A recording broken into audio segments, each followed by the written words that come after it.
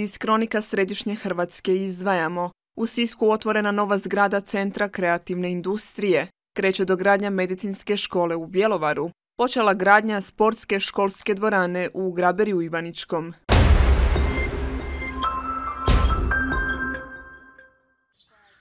Prvi svibanj za općinu Jasenovac stradalu u domovinskom ratu poseban je dan. Poseban je to dan za sve obitelji poginulih branitelja i civila, za sve branitelja, ali i za sve koji su tijekom domovinskog rata čekali povratak na svoja ognjišta. To se upravo dogodilo u akciji Bljesak 1. svibnja kada je oslobođen Jasenovac i okolna naselja. Zato Jasenovac taj datum obilježava kao dan općine. Jasenovac obilježava dan općine, ali obilježava i 26. obljetnicu vojno-redarstvene operacije Bljesak, jer za dan općine je baš upravo i izabran dan kad smo nakon pet godina što smo izbivali svojih domova, vratili se u naš Jasenovac, našu Košutaricu i Mlaku. Zbog situacije s pandemijom dan općine i ove godine obilježen skromnije, bez svečane sjednice općinskog vijeća, ali opet dostojanstveno. Bez obzira na epidemiološke mjere, okupilo se stvarno e, onih prijatelja, e, hrvatskih branitelja, e, pripadnika policije, vojske, domaćih ljudi, jer svi domaći ljudi sudjelovali su u oslobađanju svojeg kraja, u oslobađanju svojih naselja. Kod spomenika poginulim hrvatskim braniteljima u centru Jasenovca vijenci su položila i svijeću zapalila izaslanstva udruga proisteklih iz Domovinskog rata,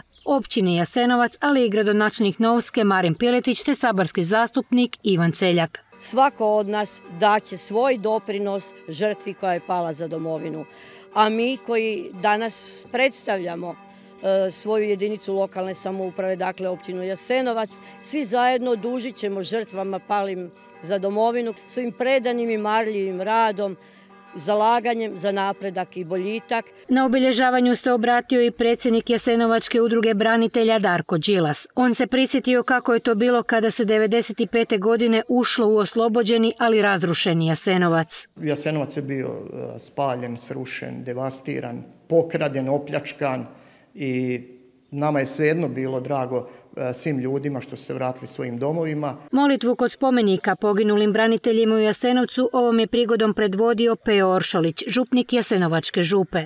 Uz dan općine svi koji su to željeli mogli su posjetiti i spomen sobu hrvatskih branitelja u Jasenovcu. Nju je, među ostalima, obišao saborski zastupnik Ivan Celjak.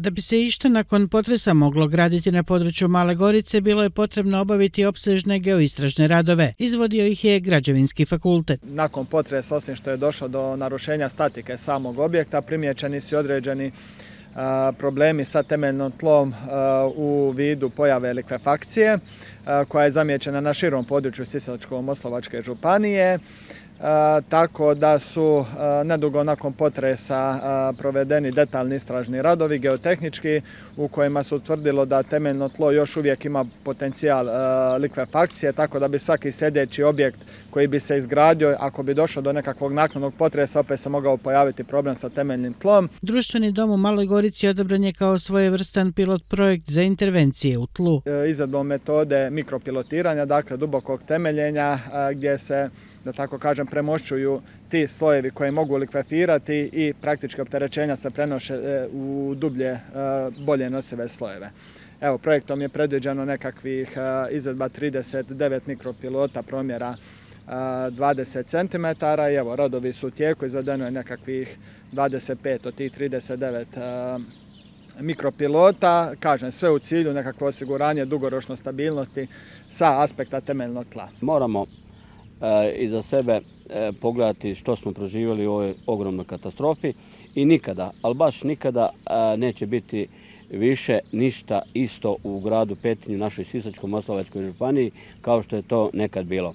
Poremećaj tla i svega onoga što smo prije svega saznali od struke, od ljudi koji su preuzeli odgovornost po svemu onome što moramo danas sutra izgraditi, što moramo na kraju E, e, ne samo izgraditi, nego i u tome sigurno živjeti. je i ovaj prostor. Projektant temeljenja, docent Bačić, ističe kako se ovom metodom premošćuju puknuća tla koja su na pojedinim dijelovima duboka i do 7 metara. Sve kako bi se postigla sigurnost budućeg društvenog doma u Maloj Gorici, ali i niza drugih objekata na području Banovine.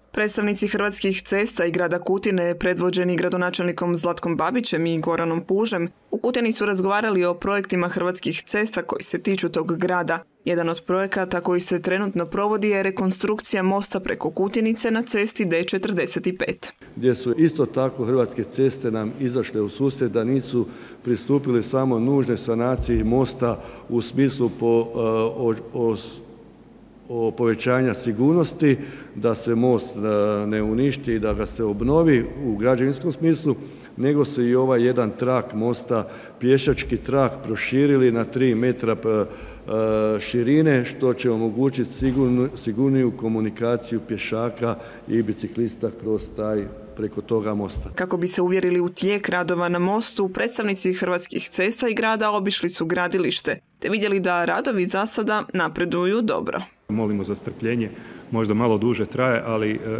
vidjet ćemo i, svi zajedno da je to nešto, jedan jako lijepi projekt. Treba reći da će radovi na mostu biti gotovi do 22. svibnja ove godine. Drugi projekt Hrvatskih cesta u Kutini je izgradnja obilaznice. Ona je od strateškog interesa za Kutinu i istaknuo je gradonačelnik Babić. Dodao je da se iz godine u godinu kroz Kutinu bilježi sve veći promet, osobito kamionski. Tako da smo eto mi odlučili e, zauzeti se kao grad e, da se ubrza prostupak e, planiranja, projektiranja, a onda na kraju izgradnje obilaznice grada Kutine, tako da bi taj promet koji je sa kamionski trgovački da bi zaobišao sam centar grada Kutine. Velik broj kamiona koji prolazi kroz središte mjesta je okidač za to da mi počnemo razmišljati o obilaznici, odnosno stavljati u prostor. To je jedan dugotrajan proces. Prvi korak na tom putu je prostorno prometna studija koju su Hrvatske ceste izradile, koja je pokazala apsolutnu opravdanost te investicije. Definitivno idemo u smjeru razrade obilaznice koja će izmisliti teški kamionski promet iz grada. Za potrebe buduće obilaznice treba će izgraditi 8 km ceste, što je više milijunski projekt za čiju će realizaciju ipak trebati neko vrijeme, zaključili su sudionici sastanka.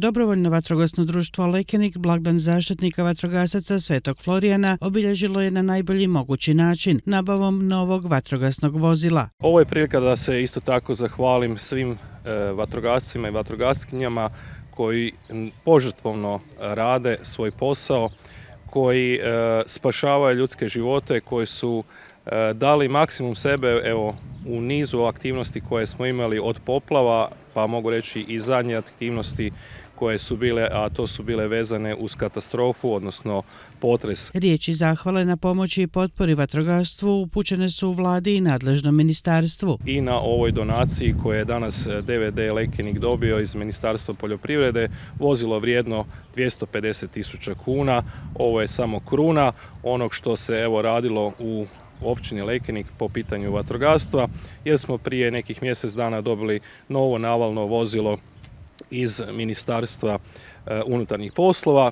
e, dva nova vatrogasna kombija za DVD Dužicu i DVD Pešćenicu kupili smo iz vlastitih sredstava. Vlada Republike Hrvatske Ministarstvo poljoprivrede danas ukupno dodjeljuje 90 vozila vatrogascima širom Hrvatske.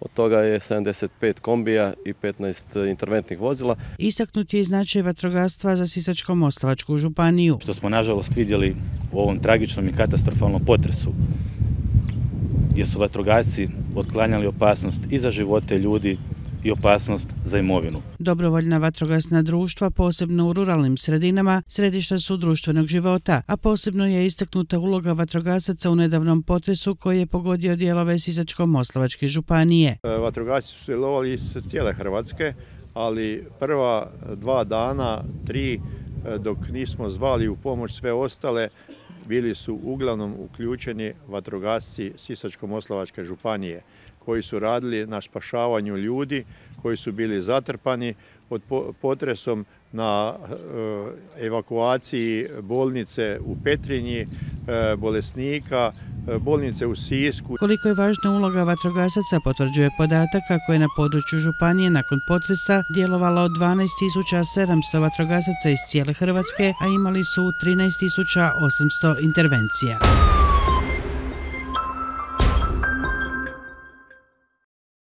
Grad Sisak i udruga antifašističkih boraca i antifašista Brezovica Sisak obilježili su 76. obljetnicu pobjede nad fašizmom i dan oslobođenja Siska u drugom svjetskom ratu. Položili su vijence i zapalili svijeće kod spomenika podignutom u čast antifašističkih boraca u parku doktora Franje Tuđmana. Drago mi je da smo i ove godine tradicionalno obilježili dan pobjede, odnosno dan oslobođenja. 5. svibanj, dan kada je grad Sisak oslobođen fašističkog jarma.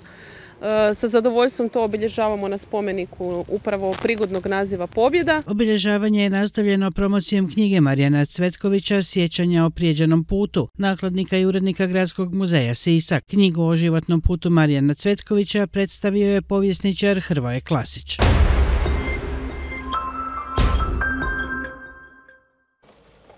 Na području Kutine već gotovo sedam mjeseci izvode se konkretni radovi na najvećem komunalnom projektu posljednjih desetljeća, aglomeraciji Kutina. U tijek radova na tom velikom projektu uvjerio se i ministar gospodarstva i održivog razvoja Tomislav Ćorić. Ono što svakako treba imati na umu da je ova aglomeracija vrlo sveobuhvatno zamišljena u svojem projektiranju i vjerujemo da će po realizaciji to i biti tako.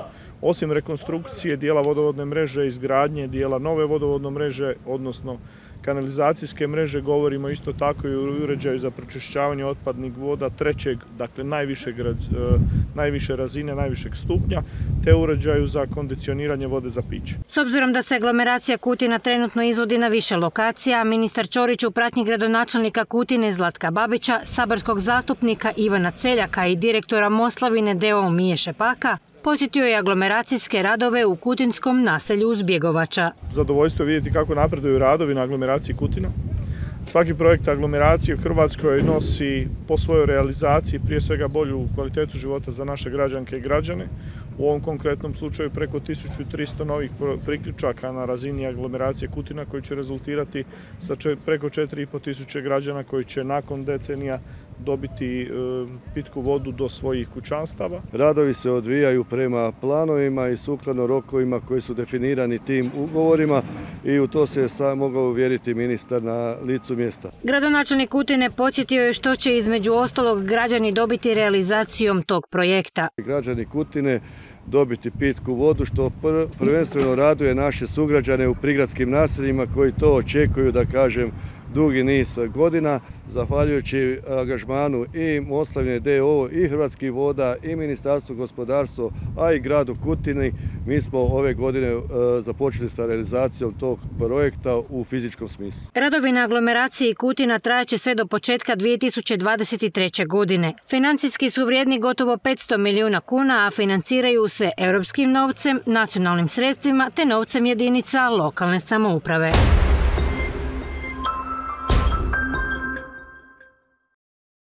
Svečano u Sisku otvoren centar kreativne industrije projekt je grada Siska, kojim se želi aktivno pomoći i kreativnim poduzetnicima. Dok stojimo u ovoj kući danas, teško se prisjetiti dojma koji bi posjetitelj prije uređenja stekao dolaskom u ovu kuću. Ali vjerujte mi na riječ, nije bio, nije bio ni izbliza ovako pozitivan kao što je za vas danas. Ovdje u centru grada danas otvaramo mjesto susreta, razvoja novih ideja i umrežavanje poduzetnika. Otvaramo mjesto koje je sigurno pravi antipod negdašnjoj zgradi stranaka. Zgradu smo unaprijedili, modernizirali do te mjere da bude kreativcima e, servis, što ne znači da smo joj oduzeli dušu i ono što je činilo ljepoticom u, pješačkoj zoni u centru grada. Sisak je završetkom radova i uređenjem centra kreativne industrije postao jedan od gradova koji mogu ponuditi iznimne uvjete za inkubiranje najmodernijih industrija u kreativnom sektoru. Ovaj projekt koji smo financirali, ukupna vrijednost mu je preko 12 milijuna kuna, financirali sredstvima Europske unije, od kojih 9 milijuna dakle iz Europske unije, je zaista bio jedan takav projekt za koji je trebalo i čelična volja, i strpljenje, i upornost i prije svega vizija. CIK se nalazi u centru Siska u ulici Stjepana i Antuna Radića 20. Prostire se na 950 četvornih metara i prostori u kojem će se kreirati nove vrijednosti. Nešto što će proizvoditi neke nove kreativne ideje, kreativne uspjehe i nešto što će se kvalitetno nadograditi na nešto što već postoji u gradu Sisku. Izvrsna srednja tehnička škola, fenomenalan metalurški fakultet, odličan pisak. Dakle, sve su to nekakve e, ekipe kreativaca, neki projekti, neke industrije koje će nam e, poslužiti kroz partnerski odnos da nadogradimo ovo. Očekuje se kako će suvremeno uređeni i opremljen poduzetnički inkubator koristiti više od stotinu poduzetnika. Upravo poduzetnicima, kreativcima, početnicima i onima koji su u potrazi za vlastitim ostvarenjem pomagat ćemo u njihovim koracima do stabilnog rasta, održivog poslovanja i trajnog razvoja. Projekt Centra kreativne industrije Sisak su financiranje sredstvima Europske unije i Europskog fonda za regionalni razvoj, a započet je 2018.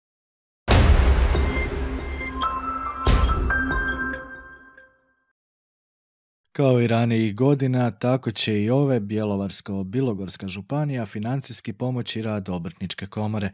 Rečeno je prilikom potpisivanja sporazuma o sufinanciranju projekata i aktivnosti obrtnika vrijednog 150 tisuća kuna. To su nastupi na sajmovima, to, je, to su niz manifestacija koje se prate, ali i sve ono što komora radi za vas. Znači prijave i sve ono što je vezano uz aktivnosti obrtničke komore. Isto tako ću reći da kada govorimo o tome, to je zapravo tradicijski da županija podupire obrtničku komoru i svoje obrtnike. Moram naglasiti da ta potpora je možda upravo sada najvažnija. U vrijeme korone, u vrijeme krize, u vrijeme krize u, u zdravlju, ali i krize u gospodarstvu. Treba reći kako se u obrtništvu Bjelovarsko-Bilogorske županije već nekoliko godina bilježe pozitivni trendovi. U zadnjih godinu dana zapravo mi imamo preko 126 više zaposlenih u obrtu nego prije godina prije. To znači da je obrt jedan od onih dijelova gospodarstva koji je bio najželaviji, koji se snašao u ovim teškim trenucima i koji kao takav je našao mogućnosti da u vrijeme krize raste. Ja bih rekao da je to i u suradnji sa obrtničkom komorom koja je pomogla svoje obrtnike. Sjećamo se svi s nostalgijom i 2019. i porastao čak 100 obrta, ali moramo biti u ovim vremenima zadovoljni što smo održali makar trend i ove godine imamo više od 20 no, više obrta. Sve više mladih ljudi, jednog trenutka se pojavio i problem što smo postali relativno stara populacija, mi obrtnici. I drago mi je što je ove godine ponovo uspostavljena puna ta vertikala od državnih potpora, županijskih pa do gotovo svih naših gradova i dosta većih općina koji izravno podupiru svoje obrtnike bespovratnim sredstvima. Bjelovarsko-Bilogorska županija ove godine raspisala i natječaj s 13 mjera namijenjenih poduzetnicima i obrtnicima njih 186 tako je ostvarilo potpore vrijedne više od 2 milijuna kuna. Vjerujem da ćemo na taj način pomoći, posebice bespovratnim potporama u gospodarstvu i obrtništvu vezanih u proizvodni dio. Dakle, ja ću reći da kad govorimo o tome, najveći dio zahtjeva upravo ide prema tome. Mislim da je to pozitivno, dobro i kvalitetno. Naravno, mi uz mjere županije imamo i mjere turističke zajednice, koje su isto tako vezane, ali u tom dijelu posebice uz gostiteljstvo i turizam. Potpisivanje sporazuma o sufinanciranju bila je prilika i za dodjelu priznanja obrtničke komore zaslužnima za razvoj obrtništva.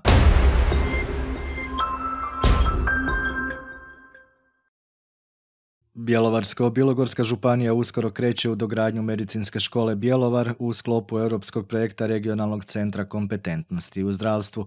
Naime, nakon pregleda i ocjena šest ponuda, stručno povjerenstvo za javnu nabavu donijelo je odluku o odabiru izvođača radova, s kojim bi se ugovor trebao potpisati kroz desetak dana.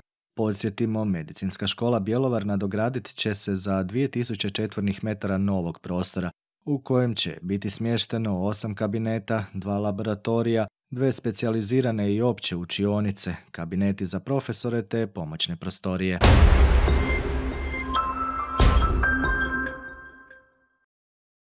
Sportska udruga Argo, popularni argonauti, posljednjih su godina, zahvaljujući svojim sjajnim uspjesima, postali prepoznatljivi ne samo u našoj zemlji, nego i šire.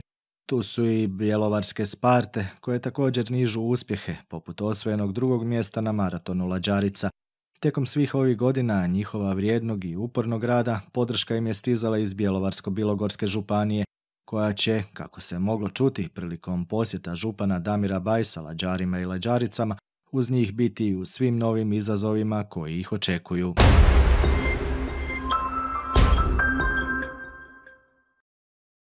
Uz cijepljenja u ambulantama liječnika opće medicine i Zavodu za javno zdravstvo, tijekom ovog tjedna u Bjelovarskoj dvorani europskih prvaka organizirana su masovna cijepljenja građana.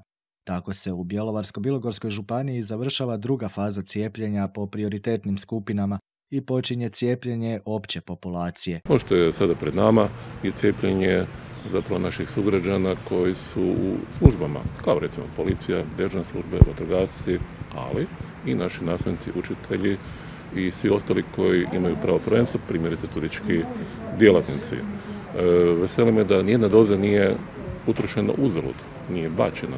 I to pokazuje da se, kada se hoće, može. Kako smo to uspjeli? Čime smo, čim smo potrošili doze, tražili smo nove, nove količine i dobili smo ono što je bilo nama obećano. Ljudi e, koji e, su se prijavili na platformu, oni dobivaju samo poruke mailom, jel? I oni na to trebaju odgovoriti. Ako pristaju na taj termin i na to cijepivo koje su dobili, trebaju potvrditi mail. Ako ga ne potvrde u roku 24 sata, oni više nisu na spisku, moraju se ponovno prijaviti na tu platformu cijepi se. Ovi koji su prijavljeni kod svojih liječnika, oni prijavljuju u ove kalendare i kad damo mi kao Zavod za javno zdravstvo raspored kad će biti cijepljenje i gdje, onda oni dolaze na to cijepljenje, pozivaju ih njihovi liječnici. Masovno cijepljenje građana organizirano je osim u Bjelovaru i u Čazmi, a punktovi će se idućeg tjedna preseliti u Garešnicu i Daruvar. Teško je reći točno koliko je ljudi cijepljeno i to moramo objasniti zašto je teško. Znači mi smo sve doze utrošili, preko 30 tisuća. Ali mi kad kao Zavod za javno zdravstvo damo u obiteljsku medicinu, izdamo cijepivo, e, potpišu oni, damo im otpremnicu i mi ne znamo da li su oni sa tih, ne znam, 50 doza koje smo ih dali sve utrošili za prvu dozu ili su nešto utrošili i za drugu. To je bilo obećano da ćemo mi kao zavodi moći skinuti da točno znamo koliko je prvih doza, koliko je drugih doza, ali ovoga ne znam vam to e, reći jer još uvijek tako nismo umreženi. Inače, utrošenih 30 tisuća doza Bjelovarsko-Bilogorsku županiju smješta u vodeće u Hrvatskoj po procijepljenosti stanovništva.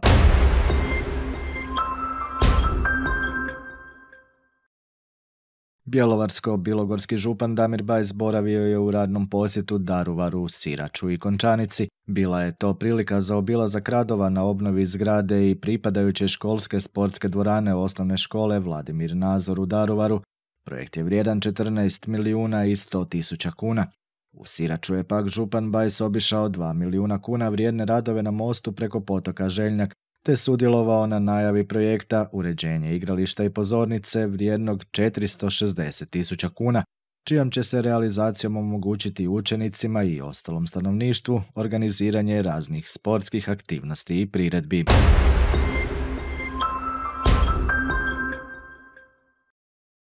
Uređenje komunalne infrastrukture, gradnja prometnica, razvijanje poslovne zone i poticanje poduzetništva Dio je to projekata koje grad Grubišno polje provodi s ciljem poboljšanja demografske slike. Korona je ipak e, jednim dijelom bitno e, utjecala na, na e, zapošljavanje, odnosno na gospodarstvenike.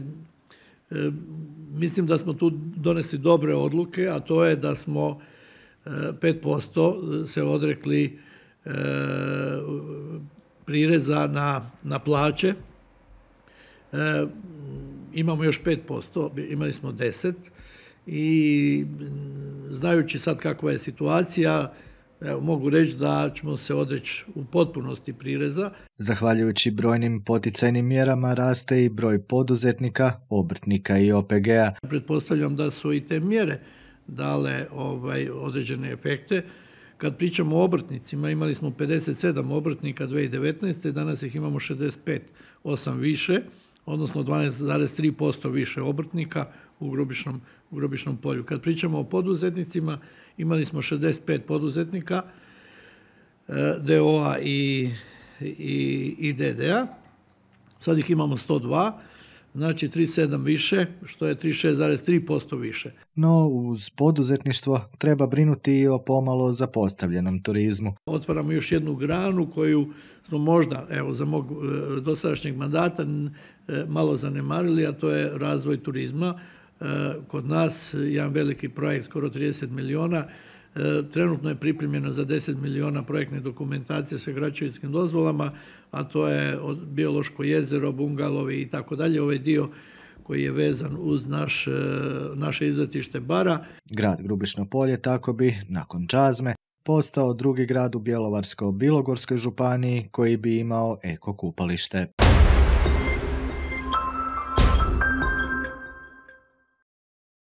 Bjelovarsko-bilogorska županija ove godine raspisala čak 13 bespovratnih potpornih mjera za razvoj gospodarstva i obrtništva.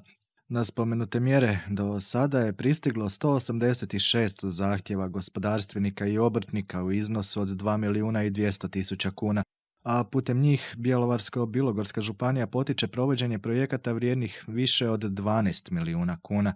Trećina zaprimljenih projekata za sufinanciranje odnosi se na obrtnike, točnije njih 60 i to u iznosu od 650 tisuća kuna.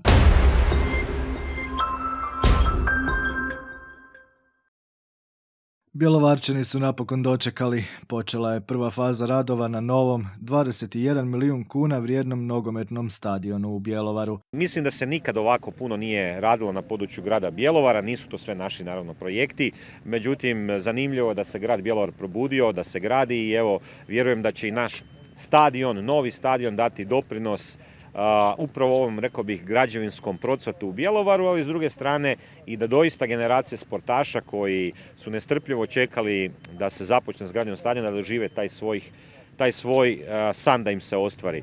Grad Bjelovar već je uložio znatna sredstva u uređenje postojećeg stadiona i nogometnog igrališta. Upravo smo ovdje na prvom terenu sa umjetnom travom napravljenom prije godinu dana u našoj županiji.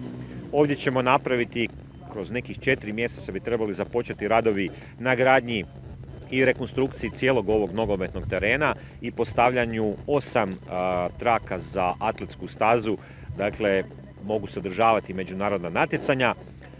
mnogi bjelovarski klinci treniraju upravo ovdje, a ono što je meni posebno drago, i to ću još istaknuti, bez obzira što, evo, stvarno mi je moja osobna neka satisfakcija da smo od svih tih stvari koje smo obećali ovu nikako, nikako nismo mogli ispuniti. Dodao je gradonačelnik Hrebak i kako je posljednjih godina grad obnovio niz sportskih terena. Od Sokolana, Atletska staza, svi nogometnim klubovima Brezovcu, Gudovcu, Obrovnici, Galovcu, Slogi. Dakle, na puno lokacija smo puno toga investirali, pa čak i ovdje na području NK Bjelovara pomogli smo zajedno klubu da i ovu svoju malu infrastrukturicu napravi isto tako i ždalima, ali naravno posebno mi je drago i mislim da je to realitet u Hrvatskoj, da se u ovom trenutku malo stadiona gradi, meni je poznat samo Osječki stadion, Malo se stadiona gradi, a o puno se stadiona priča da će se izgraditi. Mi danas prestajemo pričati, mi danas imamo konkretno radove iza nas. Početkom ljeta već bi se trebali vidjeti obrisi novog stadiona,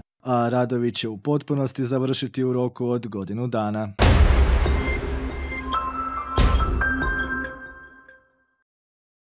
Gradnja nove zgrade opće bolnice Bjelovar ulazi u završnu fazu.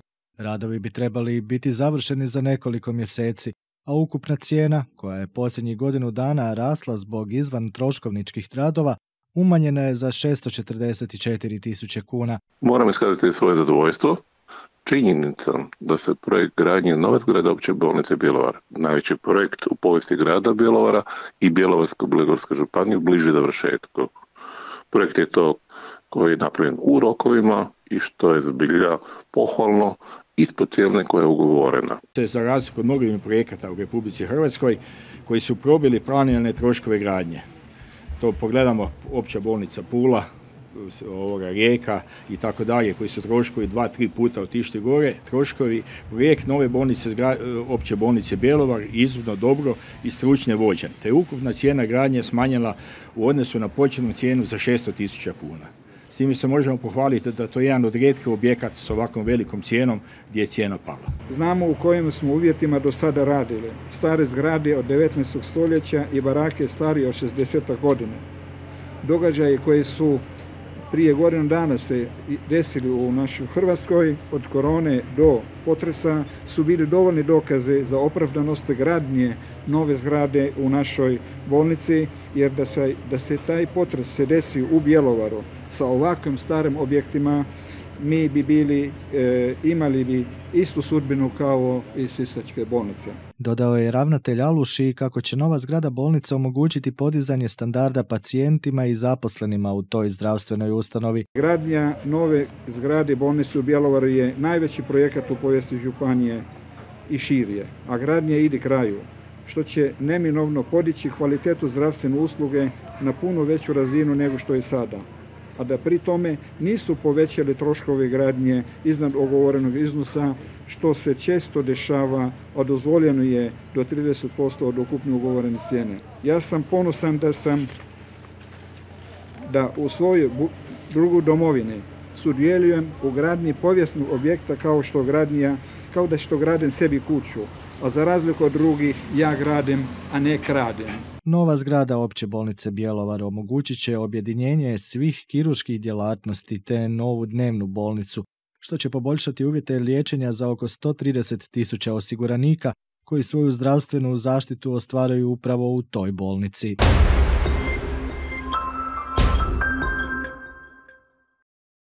Na gradilištu pokraj osnovne škole Bedenica gradi se dvodjelna sportska dvorana površine 1500 četvornih metara. Novi prostor osigurat će učenicima bolje uvjete za bavljanje tjelesnom kulturom i sportom. Osnovnu školu pohađa 157 školaraca, a nova dvorana bit će gotova početkom sljedeće školske godine. Školska dvorana i ova škola koja je dograđena 2017. je za našu školu, za djecu ovog kraja čudo. U kojem smislu?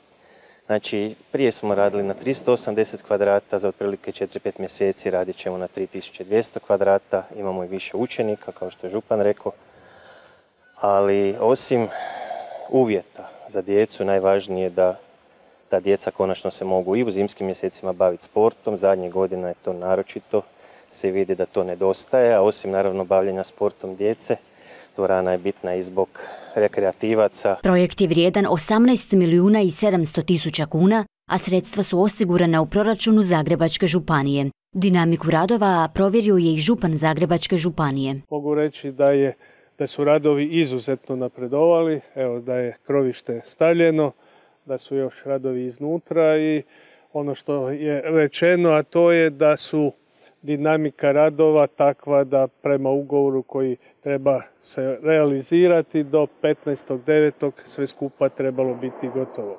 Evo, nadam se da će to tako i biti. Župan Kožić podsjetio je prilikom obilaska gradilišta na kapitalne investicije u školstvu. Kad tome dodamo da smo 2017. godine završili školu koja je evo, ukupna vrijednost bila 17 milijuna i 800 tisuća kuna, pa kad samo zbrojite ove dvije cifre još određene e, poslove ili određena financiranja u samoj školi, onda je to preko 40 milijuna kuna u četiri godine. Broj učenika raste iz godine u godinu, pa u općini Bedenica ne kriju zadovoljstvo zbog ove investicije. Mijenjamo i vizuru naše općine koja će postati prepoznatljiva i koja će ostati takva u mnogo narednih godina. Novom dvoranom osigurat će se prostor za treniranje i brojnim lokalnim sportskim klubovima.